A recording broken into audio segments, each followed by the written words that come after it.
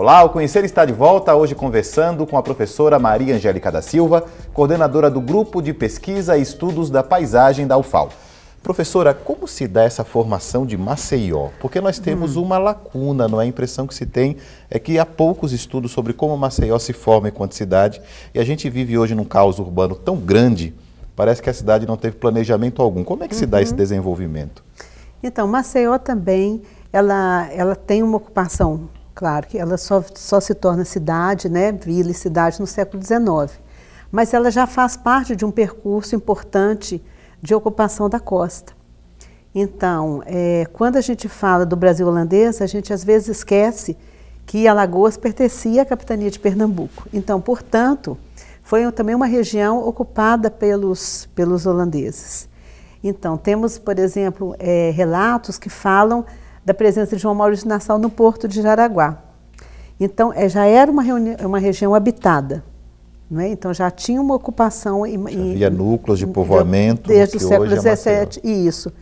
E, e nós é, conseguimos localizar no Arquivo Ultramarino, em Portugal, né, que, como eu já lhe disse, a nossa busca é principalmente pelas fontes iconográficas, que nós buscamos nos arquivos e também nós produzimos depois através dos programas de computação.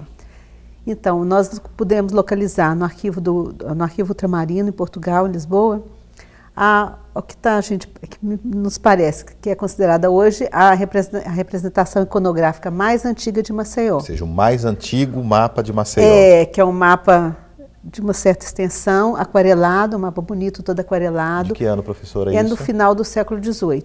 E ele, então, apresenta... É um mapa que, é, que teria, tinha como função orientar a, os navios para portar na costa. Né? Então, a, a, maior parte das informações é sobre os, sobre os arrecifes, sobre a condição da costa. Mas a gente já vê claramente ocupada a área de Jaraguá e a partezinha de cima, né, onde hoje a gente tem a, a catedral, também com a, com a, com a pequena capela.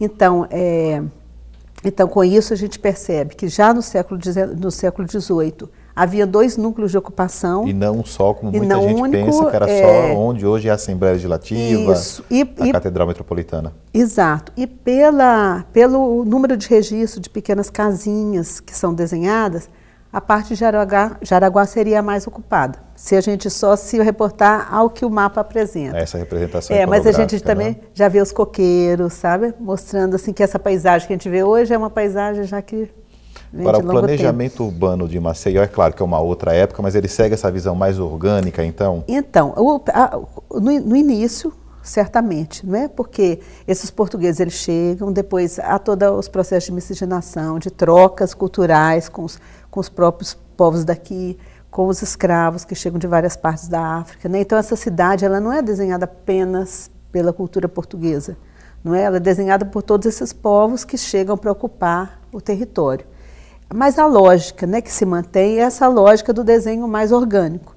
Então, as, Maceió, como qualquer outro lugar de ocupação mais antiga, ela também teve um desenho mais curvo, ela teve um desenho a partir de caminhos, praticamente. Então, a cidade acompanhando os caminhos. Quando chega no século XIX, então, vão, vão existir é, é, iniciativas de tentar regularizar a cidade. Mas ela também começa como Marechal Deodoro, com Porto Calvo, com desenho irregular e toda voltada para o porto. Perfeito. Além desse resgate iconográfico, o grupo também produz alguns produtos culturais. Que produtos são esses, professora? Então, a, a nossa ideia é que o conhecimento tem que ser socializado. Não é? Então, depois que a gente que a pesquisa está madura, que tem resultados mais concretos, nós buscamos transformar esses resultados em produtos que as pessoas que possam ser é, de forma bem é, fácil, assimilada pelas pessoas. Socializado, né? Isso. coletivizado. É, então a gente produz pequenos livros interativos, produzimos vídeos, né? já fizemos exposições também, eventos que seriam mais para academia. E, e como a, a, a, imagem, né? ela, ela, tem, ela apresenta poucas barreiras, quer dizer, uma pessoa e que nós não... temos uma carência, né, então, professora, desse resgate, dessa memória, não é? Então, ela, é, para o iletrado, o desenho também é possível de ser assimilado. Então a gente busca muito trabalhar com as imagens, que com isso a gente acessa as crianças, o público em geral. E, mas a ideia é que a gente faça da, do conhecimento um jogo. como a gente também, de certa forma, encara. Que a gente encara com muito prazer essa, essa, essa busca do conhecimento. Então, ao mesmo tempo que a gente é, entende que a gente está descobrindo algumas coisas, mas que outras a gente sabe tão pouco, a gente também busca passar para o outro essa, essa ideia de que o conhecimento é uma coisa que a gente persegue. Então, a gente quer também que a outra pessoa que, que, que receba o nosso produto também participe dessa busca de encontrar respostas. Então, no geral, são pequenos enigmas, o conhecimento não está dado de pronto, sabe? Então, a nossa ideia é essa, fazer com que as pessoas também interajam é instigar essa reflexão, isso. essa busca, né? É. E um dos próximos passos é uma pesquisa sobre Porto Calvo, é isso? Não, e, então, ano que vem nós queremos produzir uma pequena série de livros que falem dessas, dessas 20 cidades que nós buscamos é, estudar. Então, nesses livros vai ter um, vão ter um pouco a história desses lugares, mas também um trabalho imagético em cima dos mapas, mostrando como é que essas cidades, né, fazendo uma superposição, mostrando como essas cidades vão se desenhando, mas assim, a partir de um trabalho gráfico, né, que nós queremos e que, que, é muito fácil, assim, usando o Google Earth, por exemplo, né, as imagens aéreas. Então, com isso a pessoa vai entendendo como é que as, as cidades vão se desenhando. Porto Calvo, que nos idos de 1600 era uma cidade, era uma vila. Era uma vila expressiva. Muito né? maior que Maceió. Maceió é, ela tinha uma ocupação muito mais expressiva. Que Com Maceió. a presença holandesa, e, inclusive. Né? Isso, né? e o importante desse holandês é ter deixado os desenhos, porque temos cidades muito importantes na Europa que não tiveram nenhum registro no século XVII.